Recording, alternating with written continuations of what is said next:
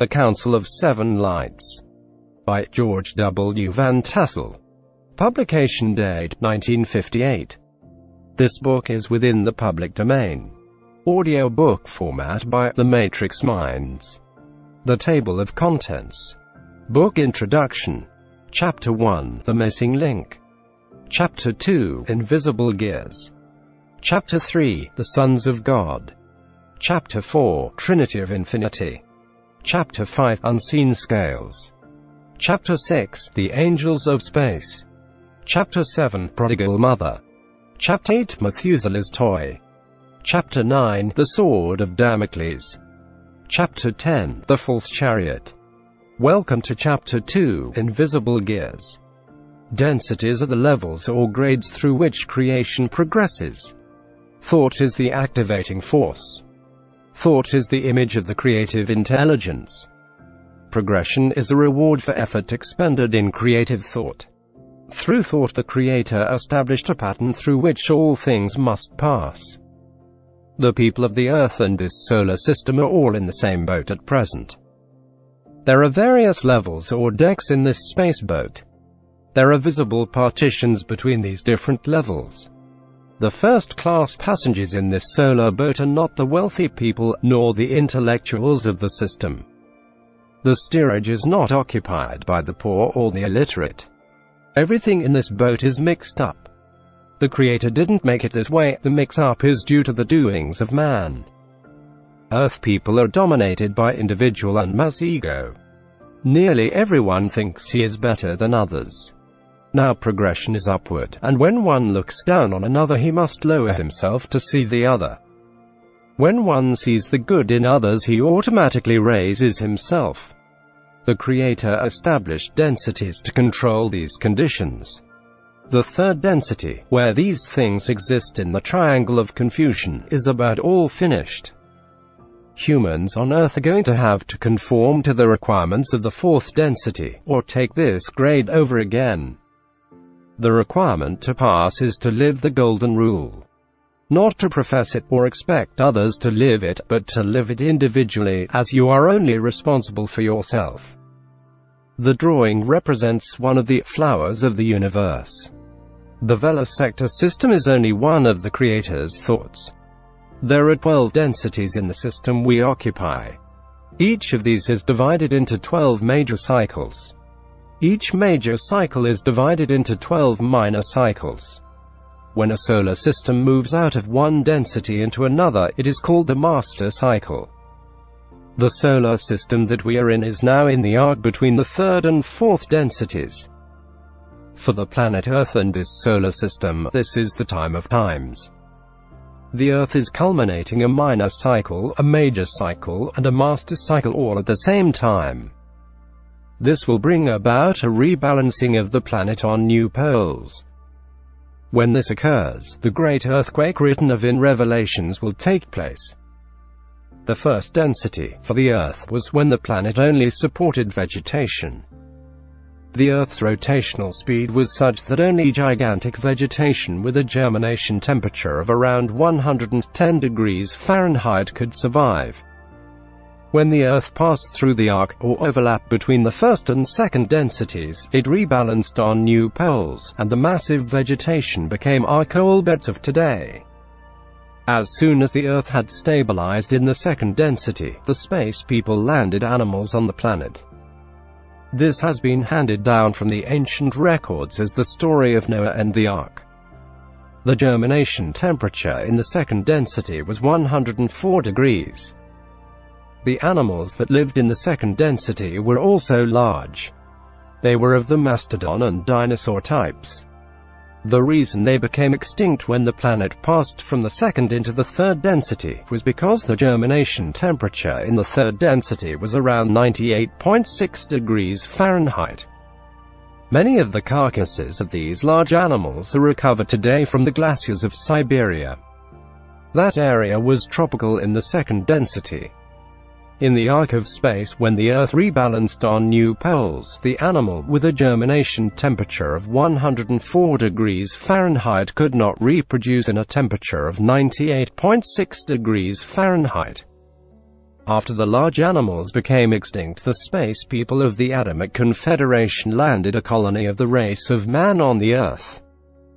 It was through the mating of these Adamic man people with the race of Eve, upright walking animals of high second density development that survived the cataclysm in the arc of space that brought about the humans of the Earth.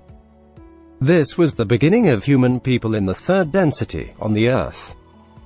The race of Eve became extinct, except for the animal flesh contribution and destructive tendencies of humans. Humans produce intensity and will become extinct as an animal-man mergence in the first 100 years.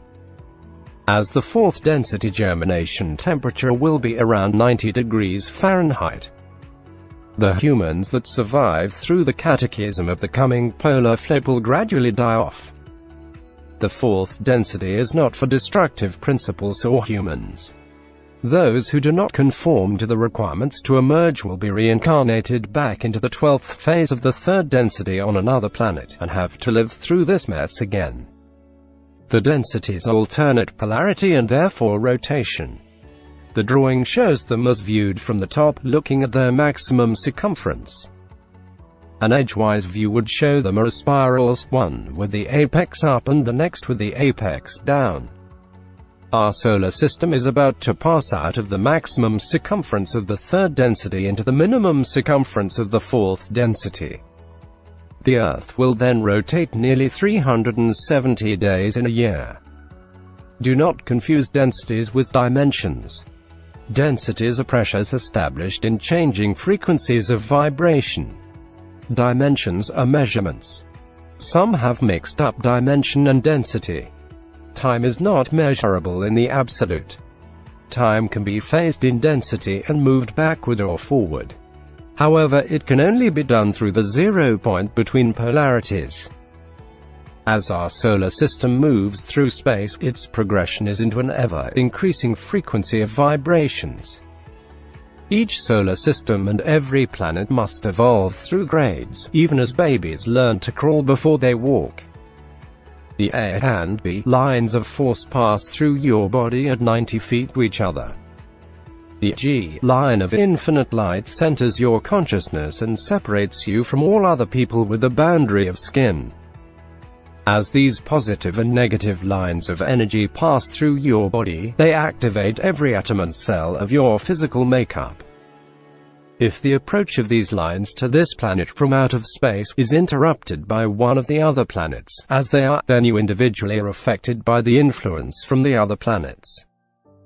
Our scientists say the moon causes tides, yet they contend that the moon has no effect on crops, people, or other conditions, that these beliefs are only superstition. The human body is over two-thirds water. Is it superstition to assume that if the influence of the moon moves thousands of millions of tons of water in the oceans, that the hundred pounds or so of water in a person is not also affected? Everything has some effect on everything else in the universe. As you move throughout the day in an upright position, you are moving in and out of many lines of force. All of them are charged with influences, not only of other planets but from other people, various metallic objects, electronic devices, and atmospheric conditions. You feel these influences and you may wonder how the day, or year, went so fast. At another time the hours may drag. These time changes are the results of some influence acting upon you. If you work hard or run you become heated and tired. This is the result of an increase in the number of charged lines of force you have interrupted. Through various attitudes caused by turning, bending, and motions of the limbs, heat is generated in the body because of constant changes of the angle of attack for the lines of force. When you sit down to rest for a few minutes, this permits the body to absorb the energy from the A and B lines of force issuing forth from the same unchanging direction. Then the structure of the body cools off because it reaches balance. This idling condition of the body motor is brought about by the fact that each atom is receiving steady motion by the same lines of force. When you sleep at night the body becomes charged and balanced rhythmic interchange. There has been much said of one sleeping with the head to the north, or east, or in a particular direction. This is not a fixed law, it varies with each individual. Each person should try the various directions. With some people it would require that they vary direction occasionally. It is more important to sleep away from metallic objects. Coil springs are especially detrimental to complete rest. Metallic conductors set up vortices that cause a circular motion within the straight lines of force. This is a parallelism to body activity, so instead of resting, your body is working even while you sleep. The essence of life is the same in all densities or dimensions. Life is manifested from the A and B lines of light forced by the infinite G light. Life is only given form in the first density by the principle of the wheel of life.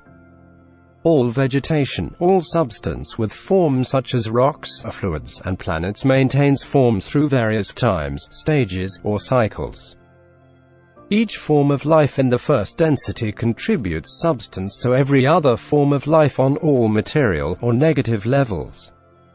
All densities of life contribute to the progression of every form of life in densities beneath them. All forms of substance are alive in repetitive patterns for the particular species. Thus substance, through life, repeats its cycles, from dust to dust. Life is the carrier of progression in its eternal and endless spiral. Thus the stages are positive reverse swastika figure shown, or negative swastika figure shown, or both cross-in circle figure shown, when they are in balance.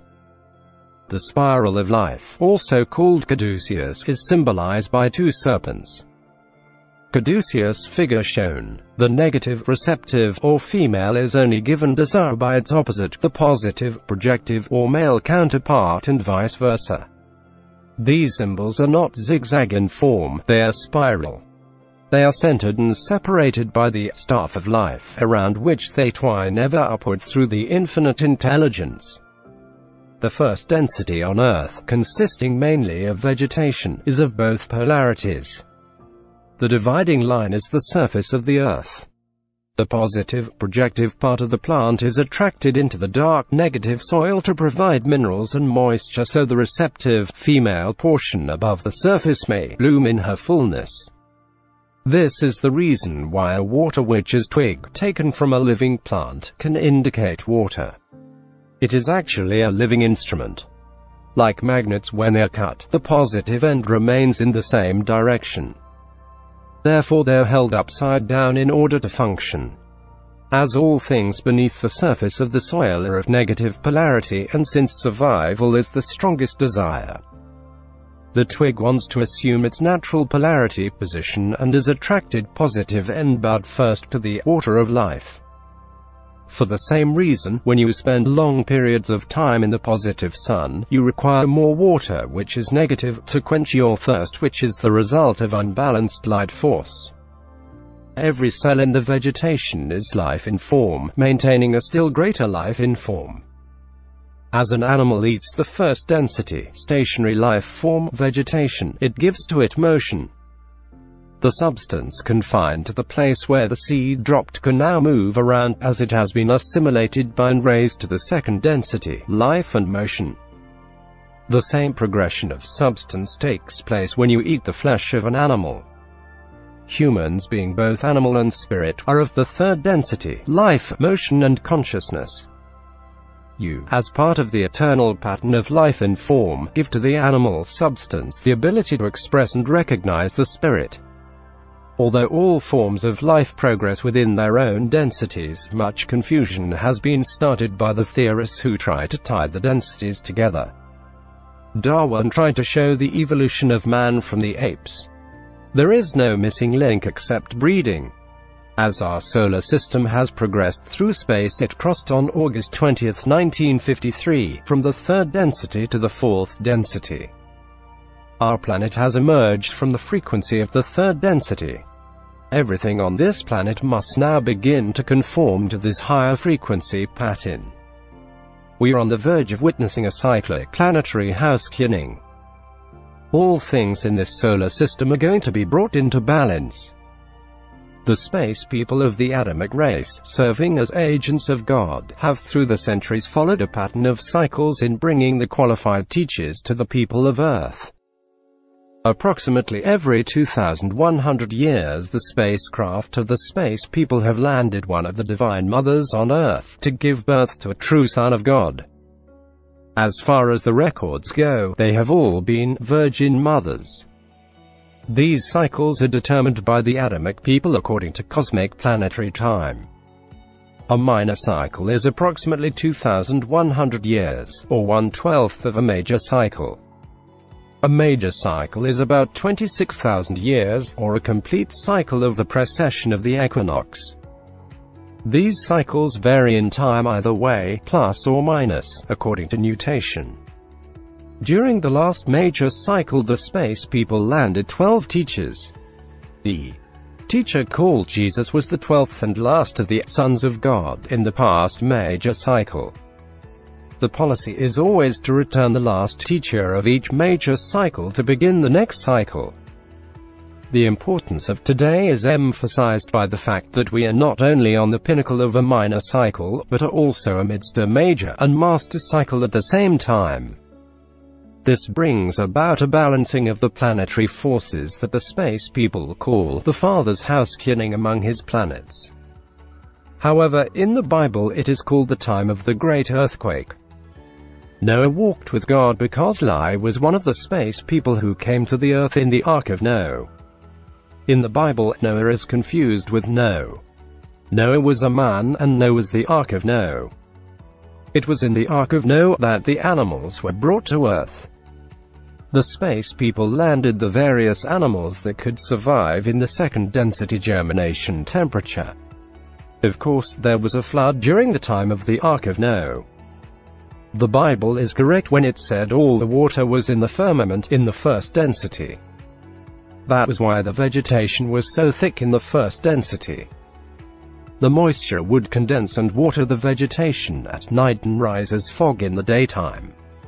When the Earth flipped on its poles in the Ark of Noah, the rotational speed changed and the new temperature of the Earth being less the waters condensed and fell from the atmosphere and flooded the land. The Bible says the waters were 15 cubits deep, about 27 feet, in Genesis 7. 20. So the story in the Bible of the ark and its animal car guard is a badly twisted version of a man and a boat. The size of the biblical ark is given as 300 cubits long, 50 cubits wide, and 30 cubits high, about 525 feet by 88 feet wide by 53 feet high. Imagine caging a pair of each kind of living thing in an area that large. And don't forget they needed sufficient food carried to feed them for 40 days. Then the story gets further off. They confused the accurate ancient records with another ark. This was when the Bible story put Noah's sons in the same boat. The animals were landed in the Ark of Noah between the first and second densities. 312,000 years later Ham, Shem, and Japheth were landed on Earth, between the second and third densities, in the Ark of Spy. Noah's sons were not individuals either. The race of Ham were the black people. The race of Shem were white people, and the race of Japheth were the yellow people. The various tribes that descended from these three original colors of people that we colonized on Earth by the space people is listed in Genesis, chapter 10. Each race is pure in its own color. And the universal law reads, each seed after its own kind. In all the creations on the earth, each flower, tree, animal and all of nature follows this law except humans, who were given the right to choose. Humans were given the intelligence to raise themselves, yet humans are the only creatures that violate this law. O oh man, though I am one, I am also many. Though I sent the individual light of each of you, you also are the one of me. I live each sensation, I live every expression, I am the motion of the O oh man. Consider each thing you do, you do to me. For when you strike one of my parts one field a blow, And when you cast a thought of love, I absorb the love of you, and I return it too. When idle mind leads thee to tear the reputation of another down, you have only lowered your thought of me, and in turn have lowered yourself. Realize that I am always with you. Always the silent, unseen, companion to your every action, the recipient of your every thought. I love to express myself through you in ways that bring me joy, in paths that reach the hearts in gratitude.